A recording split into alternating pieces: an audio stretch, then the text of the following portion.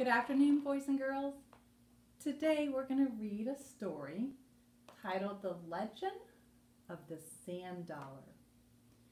And this is written by Chris Auer and illustrated by Rick Johnson.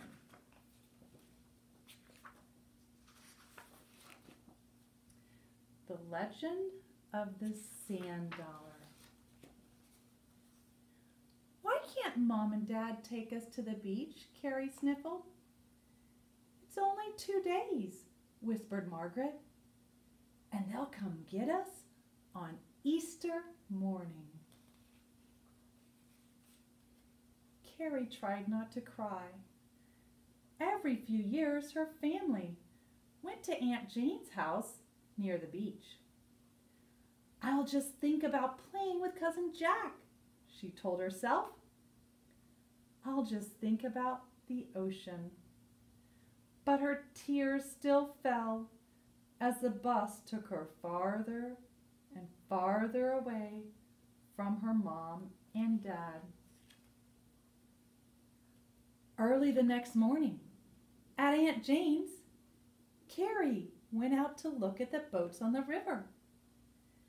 Carrie still missed her parents, but soon she heard the put put of an engine coming towards her from upstream. Cousin Jack. Carrie, Jack hollered.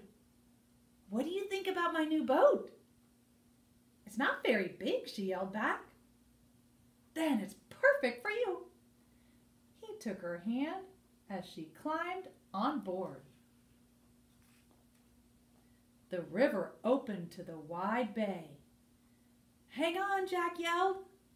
And suddenly the ocean lay before them, as broad as, as the sky. A small island appeared in the distance. Waves lapped against the shore as Jack beached the boat. What's this? Carrie called, holding up a round object. That's a sand dollar, Jack answered. A sand dollar, Carrie cried. This isn't money. Right, said Jack. It's a starfish that used to live in the ocean. How do they get here? Carrie asked. When the tide goes out, it leaves sand dollars behind, Jack said. Why are they called dollars? she asked. Well, real dollars used to be round, said Jack, and they were made of silver. But sand dollars have value too.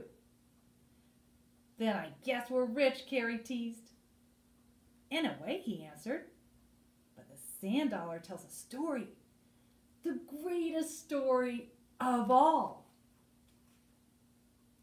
Can you see the Easter lily on that side?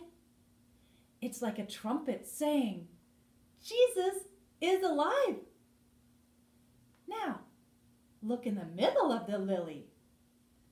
There's the star from the east that led the wise men to Christ.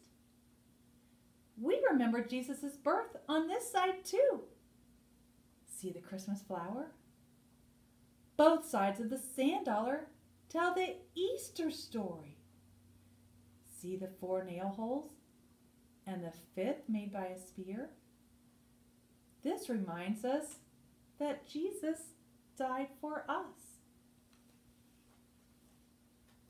Now hold out your hand, said Jack, and watch very carefully.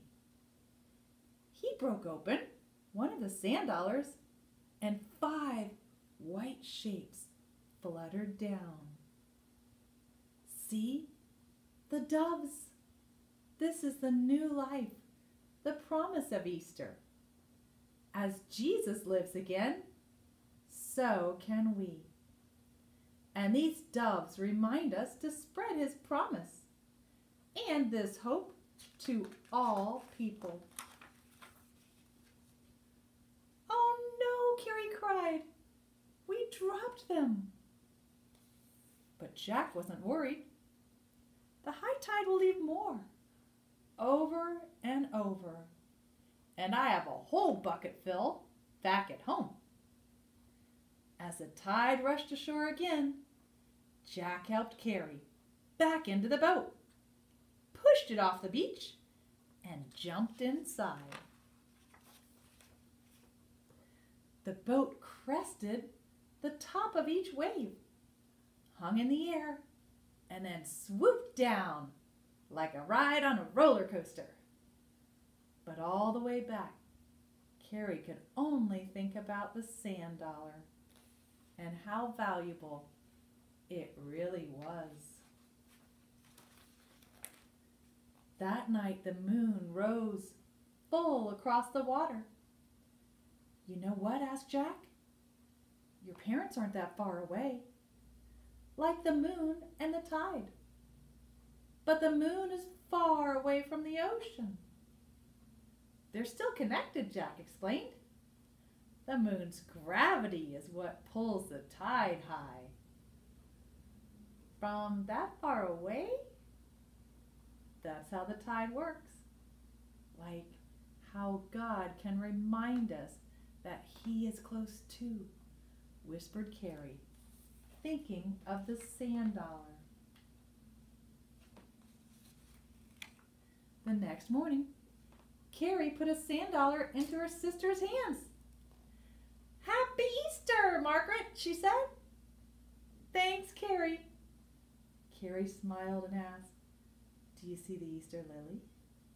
An Easter lily? Yes. And inside they're little doves. I'll tell you the whole story.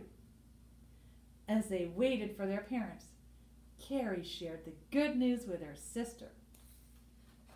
And soon, Margaret smiled too.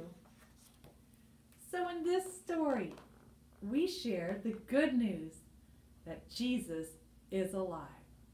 So, you can share the good news with your family and friends. Great job, boys and girls.